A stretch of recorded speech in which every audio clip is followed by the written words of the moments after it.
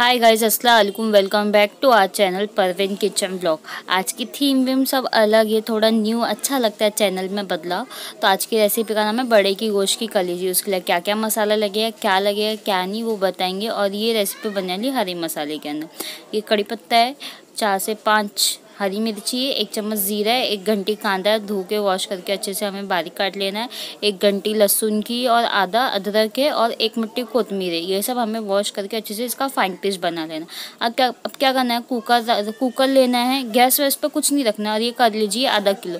तो हम क्या करेंगे? इसे सफ़ा नहीं करेंगे। हम इसे उबाल के सफ़ा करेंगे। तो कैसे, क्या करेंगे? कैसे प्रोसीजर से हम इसे कलेजी को सफ़ा करेंगे, वो देख लेंगे। और इस तरीके से कुकड भी हो जाएगी वो। तो हमें क्या करना है? एक बार वॉश करके ले लेना, है कलेजी को। तो हम इसके ना कड़ी तीन तेज़ पत्ते डालेंगे, आधा घंटे कांदा डालेंगे, दो लौंग, एक इलायची, छोटी वाली, एक बड़ी इलायची, एक दालचीनी और दस से बारह काली मिरी मतलब वो एक चुटकी काली मिरी। और क्या करेंगे हम, जो वॉश करेंगे हल्का फुल्का मतलब धो देंगे कलेजी को अब जो चर्बी लगी रहती है एक्स्ट्रा गंदगी, छिलका रहता है उसके अंदर जो लगा हुआ, उसे निकालना कैसे तो ऐसे निकालते निकालते हाथ दुख जाएँगे हमारे।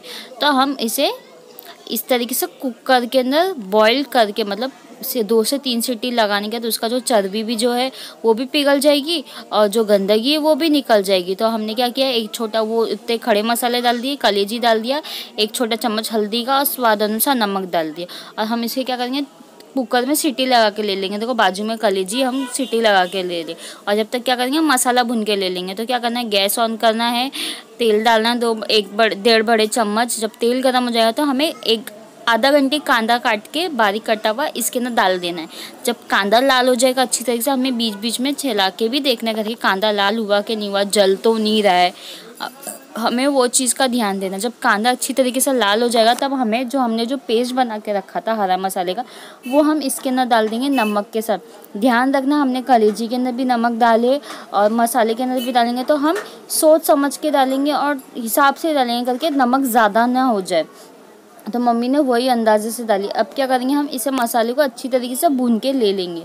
जब तक मसाला भुनेगा, जब तक मसाला तैयार होएगा, एक, तैयार हो रहा है एक जगह एक जगह हमारी कलेजी अच्छी तरीके से बॉईल हो रही है और जो भी गंदगी वो बॉईल के इससे मतलब पानी के अंदर आ जाएगी। तो मम्मी वो चीज़ भी बताएगी करके कलेजी कैसे सफ़ा करना है, कैसे नहीं करना है।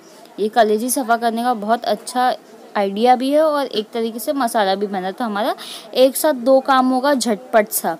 करके एक क्या होता है टाइम वेस्ट हो जाता है कलेजी की मतलब चमड़ी, गंदगी, ऊपर की नहीं निकलती, हाथ दुखने लगते टाइम भी वेस्ट होता है। तो आप इस तरीके से कुकर के ना फटफट से इसको कुकर के ना चढ़ा के फटफट से सफ़ा कर सकते हो और एक जगह अपन अपना मसाला भी तैयार कर सकते हैं, भून सकता है, सब कुछ हो सकता है। जब तक ये मसाला रेडी हो रहा है, जब तक हम देख लेते करके कलेजी किस तरीके से हमारी, ये देखो, ये मम्मी ने दो से तीन सीटी लगाई है, तीन सीटी लगाने का देखो चमड़ी भी पिघल चुकी है और आजू बाजू में देखोगे तो सब गंदगी परत वरत लगी तो हमें क्या करना है कलेजी निकाल लेना है कलेजी की जो चमड़ी वमड़ी है, वो आराम से अब निकल जाएगी। सफ़ा हो गई, एक वॉश कर लेंगे पानी में और इसके ना हम डाल देंगे। इस तरीके कलेजी तो बॉयल हो चुकी है, एक से दो मिनट हम चलाएँगे, भून के लेंगे, इस तरीके से भी, जिनको भुनी हुई खानी, वो इस तरीके से भी खा सकते हैं। ये स्टेप पे गैस बंद गैस बंद करके गार्निशिंग करके। पर हम क्या, हम रस्सेदार रखेंगे। तो रस्सेदार रखने के लिए हम क्या करेंगे, वो देखेंगे। जब ये दो से तीन मिनट लगेंगे कलेजी भुनने के लिए, कलेजी भुन जाएगा तो मम्मी इसके ना पानी डालेगी। आप लिमिट से मतलब किसी को ग्रेवी टाइप में खाना है तो वो खा सकते पानी डाल के। और किसी को भुना हुआ खाना है तो वो उसी स्टेप पे गैस बंद करके अपना सर्विंग कर सकते हो। तो हमें चाहिए था रस्सेदार, क्योंकि हम मतलब मेरे अब्बा हो गए और भी बड़े लोग हो गए घर में, वो इस तरीके से खाते भुना भुना उनको नहीं पसंद है। तो हम रस्सा भी कैसे रखेंगे? मीडियम में रखेंगे। ना ज़्यादा गाढ़ा, ना ज़्यादा पतला, एकदम मीडियम।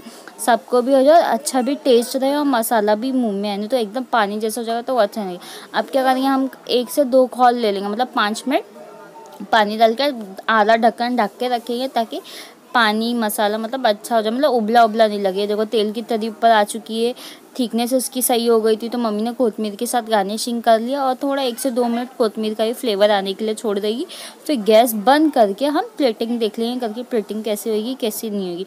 हाँ अगर वीडियो ये प्लेटिंग है, अगर वीडियो पसंद आए तो ज़रूर लाइक करना, शेयर करना, कमेंट करना और प्लीज़ प्लीज़ सब्सक्राइब करना। थैंक्स फॉर वॉचिंग वीडियो और मम्मी की इंस्टाग्राम आई टैग कर दूँगी। जब तक मिलते हैं हम नेक्स्ट वीडियो में।